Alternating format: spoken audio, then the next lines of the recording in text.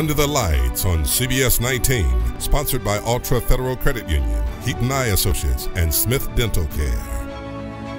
Hey, good Friday night to everybody. I am Johnny Kahn, and thanks so much for joining us tonight. Well, we got some great East Texas high school football action, so let's kick it off with our game of the week. The Pine Tree Pirates class of 2030 something had a chance to run through the helmet to start the game. First play from scrimmage, Lindale's first play. That's going to be Casey Villarreal. That handoff, he will weave his way for a 20 yard pickup. Eagles looking good early on. Later in the drive, it's quarterback Sam Peterson running the bootleg. He's going to take it himself, gets to the pylon for the touchdown. Look at that. He had such a great junior year last year, helping to lead Lindale to the state championship. Later on, hey, they go for two. Peterson going to find Isaac Pollard for the conversion. Lindale 8, Pine Tree nothing early on. Let's jump to later in the first quarter.